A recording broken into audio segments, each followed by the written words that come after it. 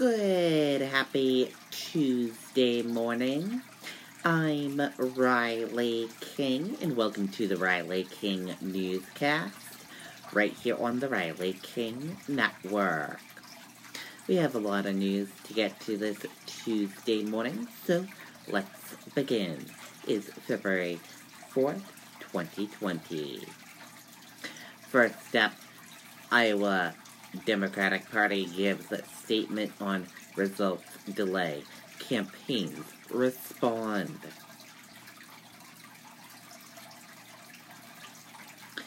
As the Iowa caucuses got underway Monday night, a new polling system was unveiled through an app. However, the Iowa Democratic Party quickly realized there was an error within the program. As candidates took the stage to address their supporters between 10 p.m. and midnight, the results had still not been posted. At 1 p.m. Tuesday, the Iowa Democratic Party hosted a conference call for media regarding the results delay. During the phone call, Chairman Troy Price said the following statement, and here's that following statement for all of you.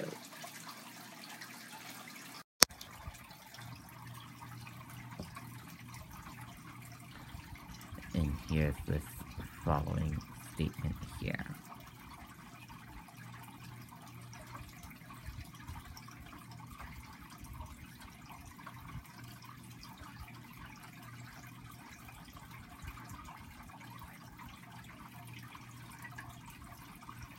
And if you want to read this following statement again, we will share it with you on the Riley King Network Facebook page after the broadcast. Former Vice President Joe Biden, here's what he said in this is his statement here.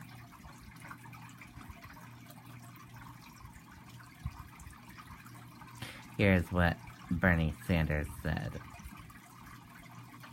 Here's what Donald Trump said.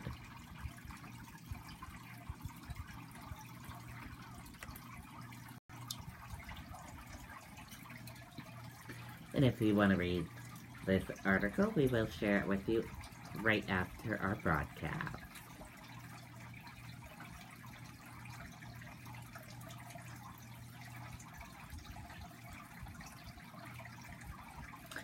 Big caucus turnout and delays reported in multiple Iowa communities. Turnout technical issues led to delays at some locations. Let's take a listen to that video from WMUR News 9, Adam Sexton.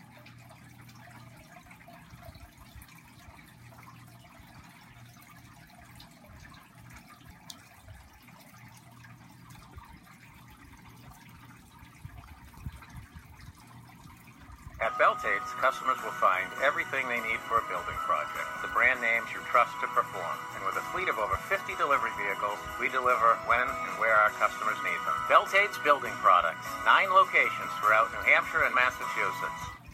Tom, we had a delay at the location we were at for the caucus as well. That would be Hoover High School in northwest Des Moines, a suburban neighborhood. A lot of people there, 522 showed up, so that registration process took a little while. But it's important to note what we saw there at Hoover High School was just a microcosm of that particular precinct and neighborhood, not necessarily indicative, perhaps, of what's going on statewide. What did go down there was this a very strong showing in this location for Bernie Sanders, where we were. Also, Amy Klobuchar had a surprisingly strong amount of support. She had more people turn out for her at our location in northwest Des Moines than Joe Biden did.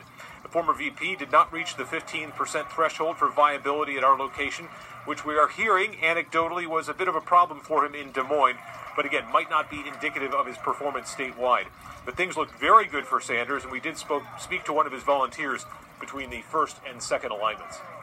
Yeah, I felt it went really, really well. Uh, um, out of the gate, felt really strong, um, which is we kind of expected that. Um, we need 20 more people, I think. We'll get that extra number, but uh, great showing for this side of town. So you know, precinct 16's always held up pretty well. So yeah, this has been a lot of fun. The final delegate allocation from where we were in Northwest Des Moines was four for Sanders, four for Buttigieg, four for Amy Klobuchar, and three for Elizabeth Warren. So those results are in in that particular precinct. But again, as you heard, Tom, it's taking a lot longer statewide under this new system, uh, about which there was quite a bit of grumbling tonight from the Iowa caucus goers. Reporting live in Des Moines, Adam Sexton, WMUR News 9. Okay, and there you go on that video and that report. Trump wins 2020 Iowa Republic caucuses. Let's take a listen to that video from KCCI Des Moines 8 CBS News.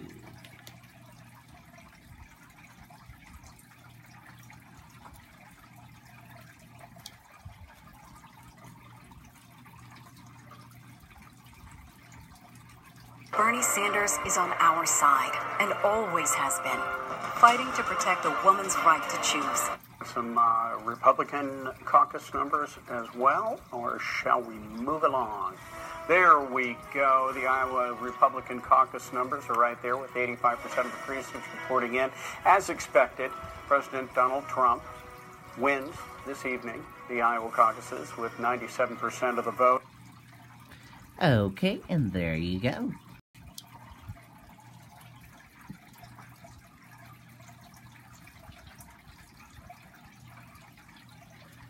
Three candidates target New Hampshire instead of Iowa. Bennet, Gabbard, and Patrick focus on Granite State on caucus night. Let's take a listen to that video from WMUR News 9, Jessica Moran.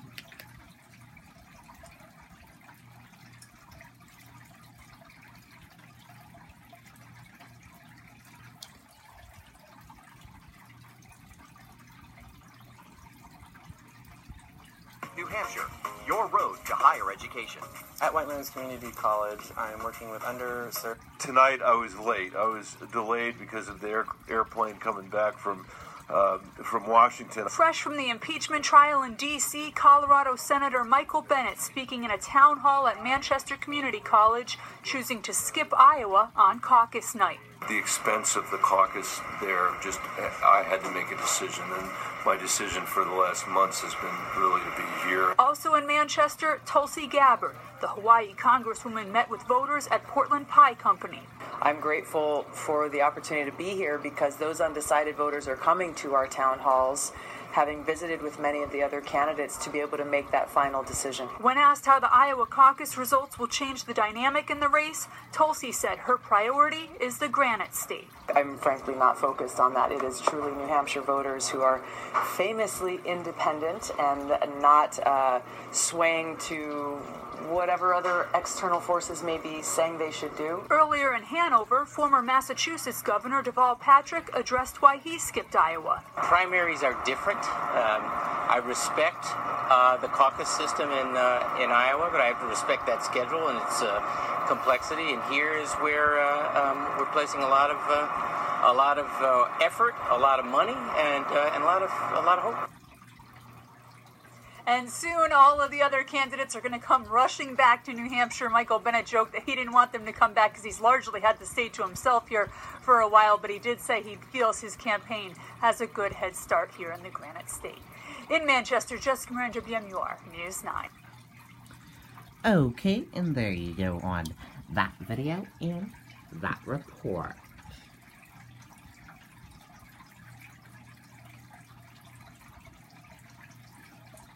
And let's take a look at your 2020 New Hampshire candidate tracker for February 4th, 2020. We have a bunch of candidates in New Hampshire today.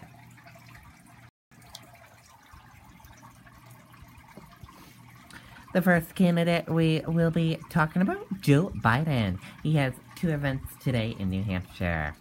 His first event, Get Out the Vote event in Nashua, New Hampshire, to be announced. His second event, Get Out the Vote event in Concord, New Hampshire, to be announced. Pete Buttigieg, he has five events today in New Hampshire.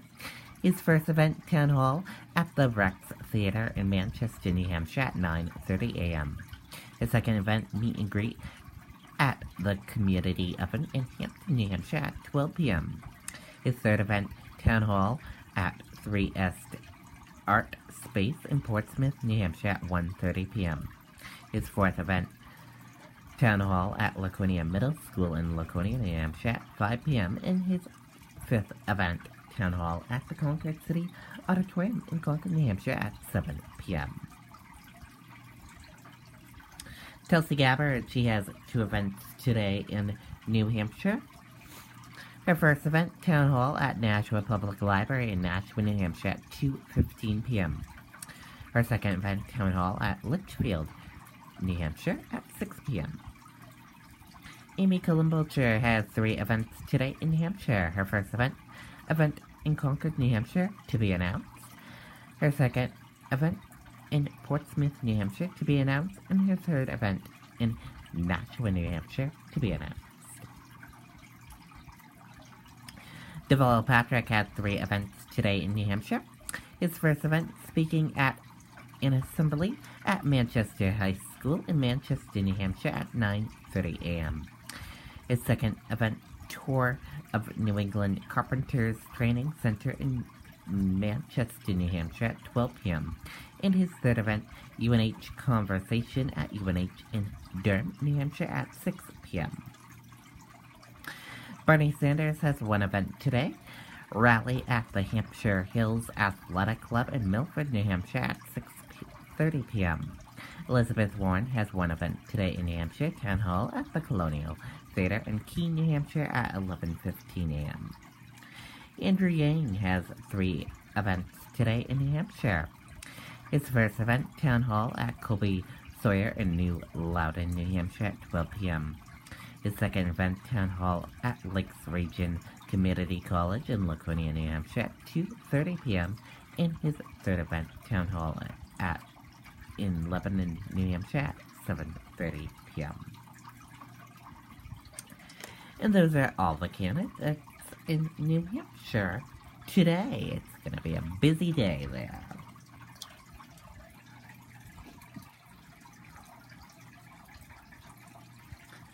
More details released about VP Mike Pence's visit to New Hampshire next Monday. Pence to speak at Cops for Trump event in Portsmouth. Let's take a listen to that video from WR News 9.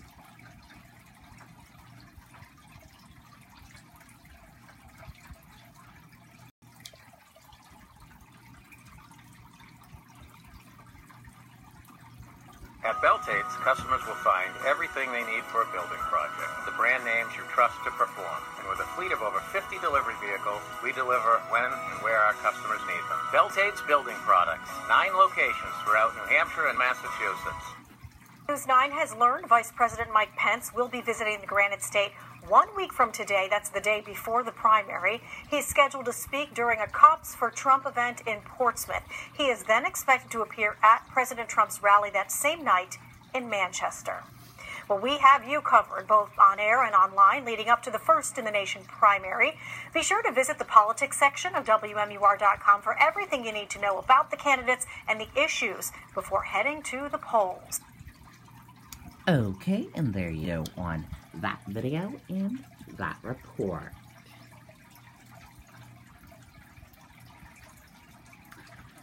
Celebration of life held for fallen Virginia police officer, New Hampshire native. Officer Katie Thyne leaves behind two-year-old daughter, Reagan. Let's take a listen to that video from WMUR News 9, Mike Cronin.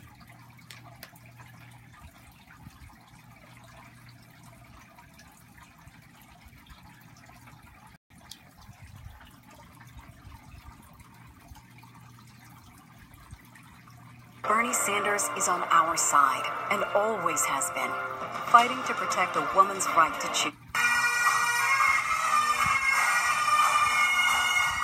A community in Virginia is saying goodbye to the New Hampshire native who served them and was killed in the line of duty. It was very evident that there was something special about her, and you could tell that she truly cared. Over the weekend, Alvirne High School graduate Katie Thyne was laid to rest in Lowell, Massachusetts, where she was born. The 24 year old Navy veteran was deeply loved and respected by family and friends in New England and her colleagues in Newport News, Virginia. She did it with courage and dedication.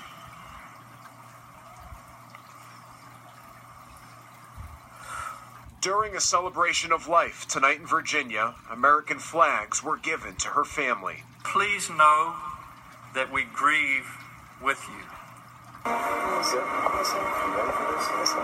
A video was played showing the night Katie received her police badge barely a year ago.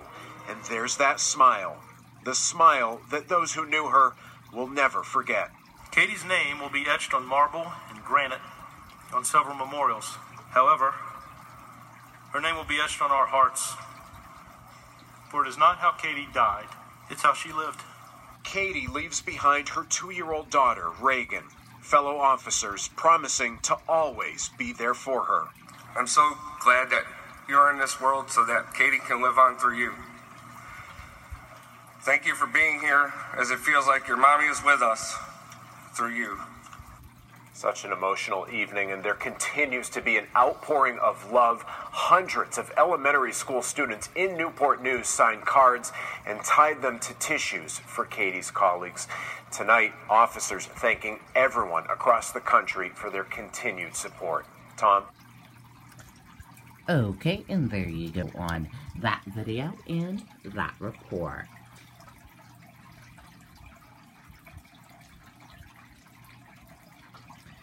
Officials warn about thin ice ahead of ice fishing derby. Great Meredith Rotary Ice Fishing Derby set for this coming Saturday. Let's take a listen to that video from WMUR News 9, Andy Hershberger.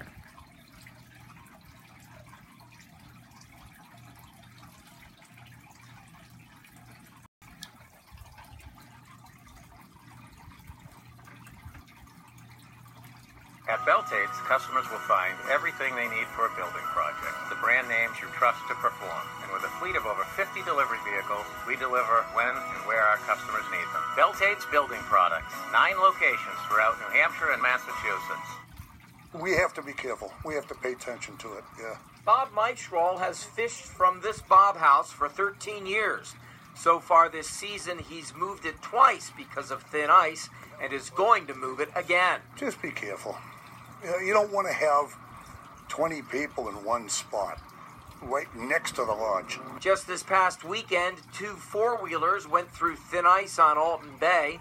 Things were okay Saturday and Sunday for the pond hockey tournament in Meredith. But Fire Chief Ken Jones says he's worried about the upcoming Rotary Ice Fishing Derby. I, I can't tell you that the ice conditions are safe throughout. Uh, I certainly want any individual that is uh, going to make entry onto the ice, no matter which pond or lake it is, that they are certainly testing it as they uh, move forward. New Hampshire Fish and Game officials say there should be at least six inches of solid ice before you walk on it, and at least eight to ten inches before you use an ATV or a snow machine. Always avoid open water and inlets and don't gather in large groups. Great Meredith Rotary Ice Fishing Derby chairperson Heidi Barrett Kitchen says they have 5,000 people registered for the event this coming weekend, but those anglers can drop their lines at any freshwater body in the state. Barrett Kitchen says, as always, their biggest concern is safety. Of course, I hope people use their common sense. This is our 41st year. Um, it's a lot of people come year after year after year, so they know that what how to fish and what the conditions are and where to fish safely. As you heard from Mike, it looks like this warmish early February weather is at least going to continue for a short time, and that is obviously not going to help these ice conditions. Putting live in Mandy Hershberger, WMUR News 9. Okay, and there you go on that video and that report.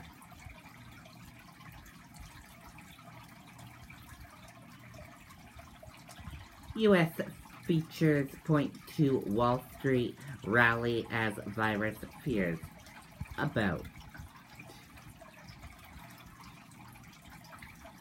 U.S. stock index Futures were sharply higher on Tuesday morning as fears ease over an economic fallout from the coronavirus outbreak. One killed, five critically injured when truck strikes students. Let's take a listen to that video from ABC News.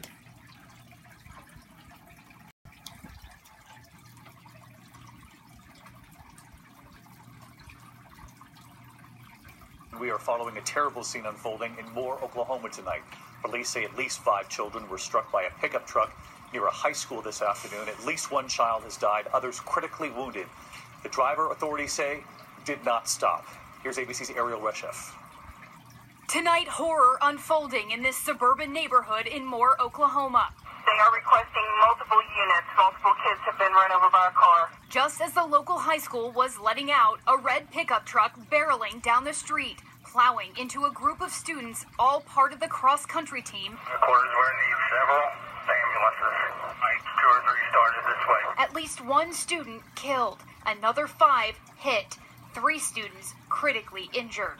Classmates witnessing the terrifying scene. He was screaming and crying, um, trying to help as much as he could. Police say the suspect fled the scene, caught a few blocks away, seen here given a field sobriety test, and taken into custody.